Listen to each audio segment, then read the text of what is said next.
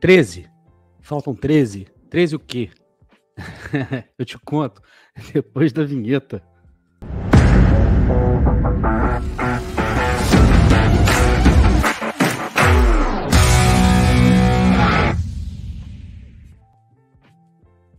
Olá, Helenos e Helenas, eu sou Tárcio Delfim, estou trazendo mais alguns minutinhos de RB para vocês. Como vocês estão vendo, minha voz ainda está bem afetada por essa gripe aí, forte pra caramba que eu peguei. Fiquei derrubado essa semana inteira e, e vou aqui dar uma de guerreiro para poder é, trazer mais um pouquinho de conteúdo para vocês, mais um pouquinho de informação para vocês. Então já peço logo de partida, né? Perdão aí pela, pela, pela voz, né? Que tá falhando aqui, tá meio rouca ainda. Mas vamos lá. É, eu coloquei aí, né, na, vocês viram né, na arte aí do, do, desse, desse vídeo, número 13, e a foto do nosso querido Louco Abreu, e o Loquito também, né, junto com ele. E essa foto eu achei muito bacana, resolvi colocar aí na capa, porque isso aí representa passado e futuro, né, do Botafogo. E, e eu espero, né, é, obviamente que o Loquito também nos traga muitas alegrias em breve, eu acho inclusive que trará, vamos ver, mas sem precisar apressar com nada, sem precisar pular etapa, tudo deixando as coisas correrem dentro do seu tempo. Mas que história é essa de 13, Tarso? 13 significa o quê? Por que, que você está trazendo isso agora? Eu já vou te contar. Porém, antes a gente vai fazer aquilo que é combinado aqui, porque combinado não sai caro. Então você deixa seu like aí, logo no começo. E se você também não está inscrito ainda na Rádio Botafogo, se inscreva aqui agora. É muito simples, né? Você não paga nada para se inscrever. E, gente, Sabe aquilo que eu estava falando para vocês, do ritmo alucinante, do foguete não tem ré? Pois é, já estamos chegando praticamente nos 50.700 inscritos. Né? Na sexta-feira, por exemplo, a gente estava falando de chegar a 50.500. Então, a gente já está batendo na porta dos 51 mil. Talvez, assim, é, talvez não, com certeza, lá para terça-feira, né, a gente já vai estar tá batendo aí no. Antes do jogo contra o Cuiabá, nós já batemos 51 mil, graças a Deus. E com a sua ajuda, com a sua participação, obviamente, ó, parabéns para você também. Mas não se esqueçam, agora a conversa é diferente. A gente está arrumando aos 100 mil. Você já é membro da Rádio Botafogo também? Se você já é inscrito na Rádio Botafogo, você também pode ser membro. E você tem aí no clube de membros da Rádio Botafogo cinco faixas diferentes que você pode escolher e uma delas com certeza vai se encaixar dentro do seu perfil. Você pode ser membro por inclusive menos de cinco reais, né? E com menos de 5 reais você não paga nem um, um, churrasquinho do lado de fora do estádio Newton Santos, né? Fireburger, então, nem pensar. Você, você precisa juntar seis vezes esses 5 reais para comprar um Fireburger lá dentro do estádio, tá bom? Mas vamos lá. Olha só, eu tô falando do número 13 porque eu tenho feito muitos cálculos ultimamente, né? Vocês têm acompanhado aqui o RB minutos, né? Os vídeos que eu coloco aqui, e vocês que acompanharam também a nossa discussão na sexta-feira passada, no Sexta Folgada, a gente tem feito muitos cálculos né, para saber quantos pontos o campeão precisa fazer, é, quais são as chances do Botafogo, quais são as chances do Palmeiras, que está no encalço do Botafogo, né? E eu confesso a vocês que é gostoso pra caramba ficar brincando com essa matemática, e no final do dia é só isso mesmo que é, é brincadeira. Eu não tenho a menor pretensão aqui de cravar nada, de fazer nenhum prognóstico, de dizer que o Botafogo vai ser campeão ou que o Botafogo não vai ser campeão.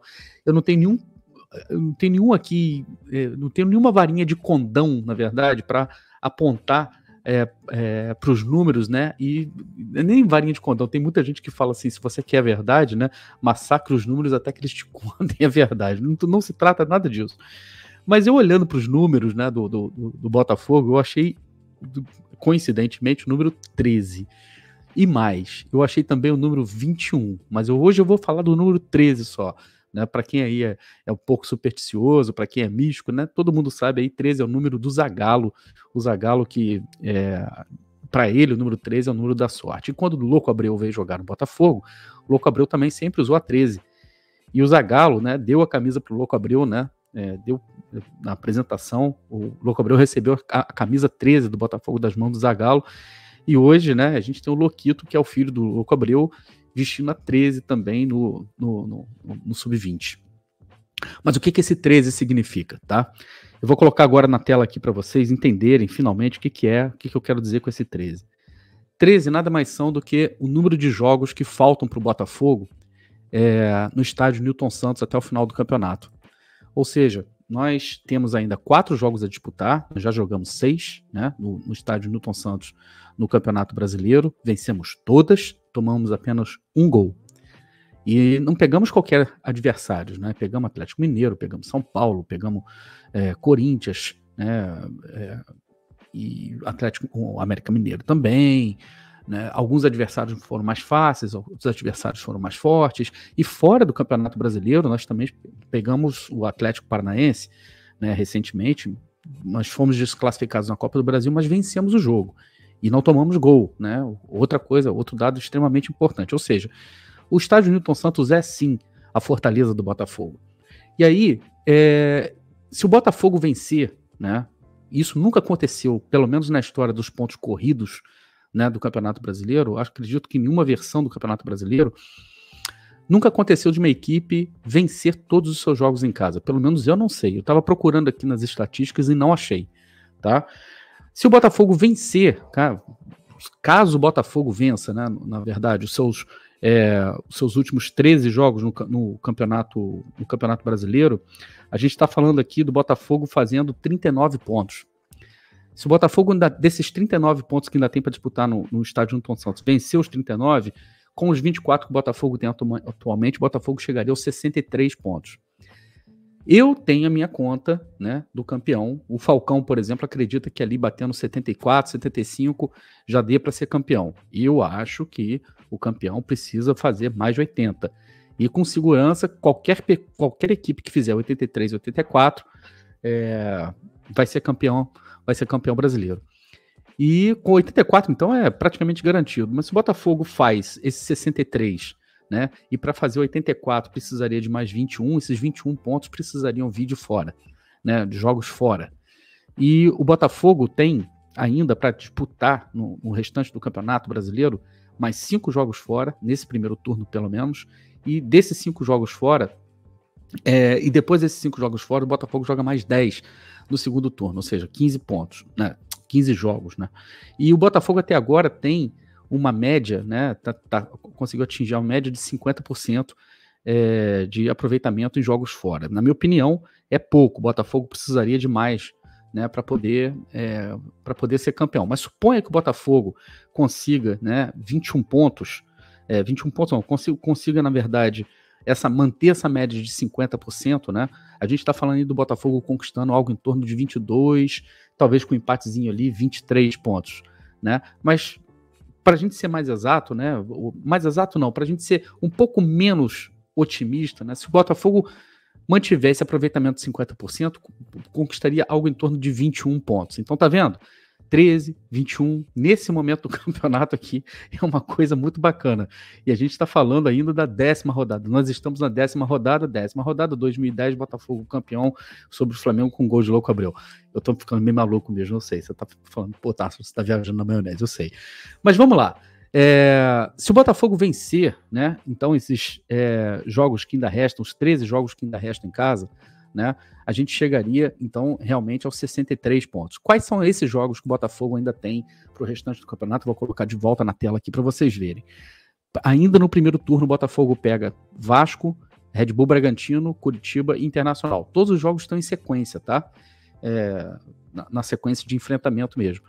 A não ser que a, a CBF acabe desmembrando a tabela e acabe adianta, é, adiando jogos.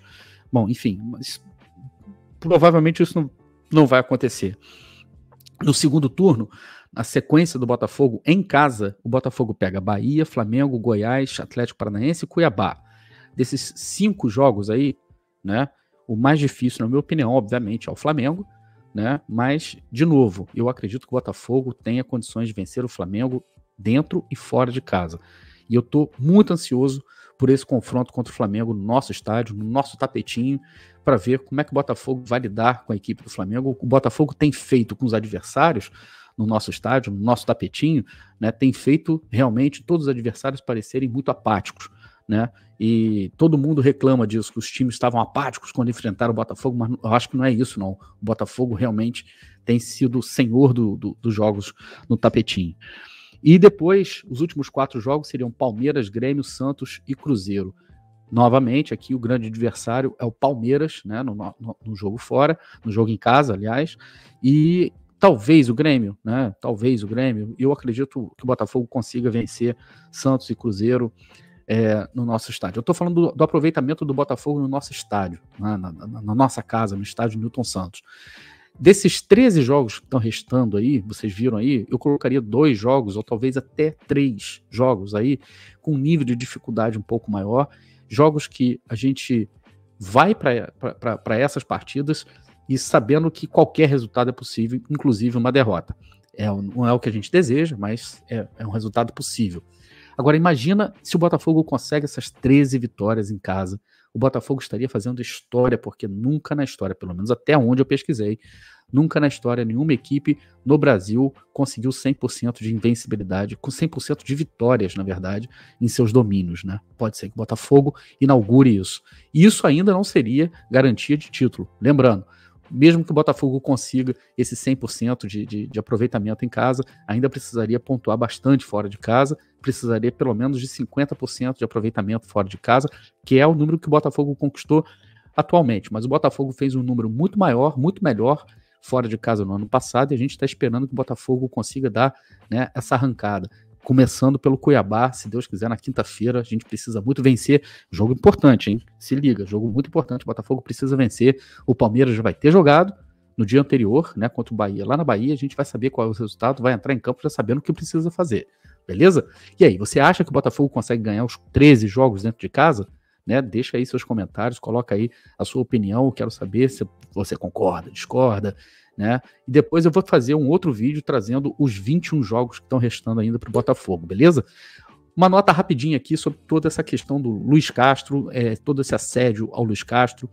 É, vocês estão acompanhando aí que o Alnácia pode ter feito algum tipo de consulta com relação ao Luiz Castro. É, o Al Hilal também, aparentemente, a cena que pode vir a fazer uma proposta para ele. A gente sabe também que está faltando mais ou menos ainda é, menos de um ano né, para o contrato dele. E o próprio empresário dando informações aqui, dando, dando entrevista aqui, falando aqui e ali e tal. Ele deixou bem claro né, que o contrato, e o próprio Luiz Castro também já havia deixado isso bem claro, que contrato para ele é uma coisa muito séria, ele costuma cumprir até o final. Eu posso dizer para vocês que eu estou tranquilo com relação ao Luiz Castro até o cumprimento, até o final do, do contrato. Acho que ele cumpre o contrato com o Botafogo até o final. Já renovação é uma outra história que eu acho que vai depender de muitos outros fatores e não é somente o fato do Botafogo estar tá muito bem no campeonato hoje, ou eventualmente se classificar para uma Libertadores, ou eventualmente até mesmo ser campeão brasileiro. Eu acho que nenhum desses fatores, na verdade, seriam fatores decisivos para segurá-lo. Seriam fatores que contribuiriam para que o Luiz Castro optasse por ficar no Botafogo. Porém, existem muitas outras coisas na equação aí que a gente precisa levar em consideração, a questão financeira, então, nem se fala. É, isso pesa muito. O cara ganhar quatro vezes mais do que ganha no Brasil é, realmente é uma coisa é muito atraente. E sem contar também que os clubes da Arábia, os quatro clubes principais da Arábia, estão assim inundados de dinheiro, né? Foram na verdade inundados de dinheiro porque os quatro clubes foram, vou botar bem entre aspas isso para vocês, tá? Foram estatizados, ou seja, tem dinheiro do Estado, né? Dos, do, dos, é, dos Emirados Árabes jorrando dentro desses clubes. Os caras estão contratando todo mundo. Contrataram Benzema, contrataram Kanté, Kusevich. Os caras estão é, é, né? Estão levando Koulibaly do do, do, do, Chelsea. Os caras estão fazendo a limpa. Então, assim, se eles resolverem vir para cá com muita força para levar qualquer atleta, não tem, não tem muito o que fazer, não. Entendeu? Eles vão levar. E a multa contratual do Luiz Castro com o Botafogo é baixa, é de 2 milhões de dólares. Isso é irrisório. E aí o próprio empresário do Luiz Castro dá uma dica, né? Ele dá uma pista, né? Que o contrato precisaria ser mudado. Ou seja, na verdade, é a renovação de contrato. Então, muitas vezes também a gente precisa ficar ligado nisso. As histórias que aparecem na imprensa, né? Às vezes são colocadas às vezes pelos próprios empresários. A gente sabe como é que funciona isso. O cara começa a fazer leilão, ó, oh, fulano tá interessado, se liga aí, não sei quem mais está interessado, tal. E aí você força, na verdade, o clube a sentar para já, já começar a negociar um contrato novo, um contrato melhorado. Isso é mais antigo do que andar para frente no, no, futebol, tá? Então não se assustem com isso. Eu, particularmente, estou tranquilo, acho que o Luiz Castro vai até o final do campeonato e acredito que o Botafogo tem ainda, é, é, talvez, né, chances aí de conseguir renovar o contrato com ele. Mas, de novo, eu não vou nem me preocupar mais com renovação de contrato, pelo menos não por agora. Tá? Tem outras coisas que eu acho que são mais importantes para a gente dar atenção, tá bom? Bom, é isso aí. Se você concorda, discorda, deixa aí seu comentário. Se você gostou desse conteúdo, deixe seu like aí também. Se inscreva aqui na Rádio Botafogo e considere tornar-se membro, porque você pode se tornar membro da Rádio Botafogo por menos de cinco reais. Isso ajuda demais no nosso trabalho aqui, na manutenção do nosso canal, tá bom? Um grande abraço para vocês. Eu volto a qualquer momento. Tchau.